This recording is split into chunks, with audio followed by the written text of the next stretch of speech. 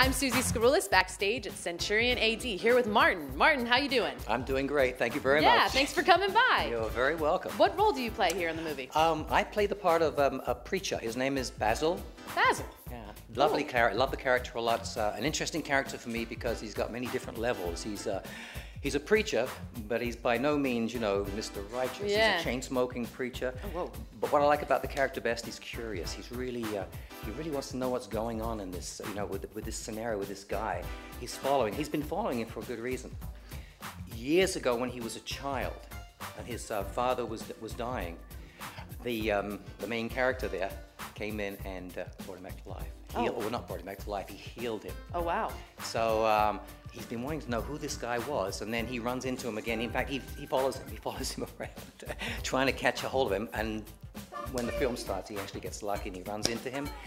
And he does so, uh, meeting a young woman too, who happens to be in the wrong place at the wrong time, gets hurt, and uh, is helped. And um, she, she, they sort of joined forces, the two of them. Oh, wow. Follow the Centurion. Great. Yeah, so a lot of internal conflict, a lot Yeah. going inside the, the So, character's um, head. so Archer for me is more than just uh, in just a curiosity. It's like he's the man who healed my father. I want to know who he is. Yeah, how did how did he do that? It, it, there's something going on. Absolutely. Wow, that sounds fascinating.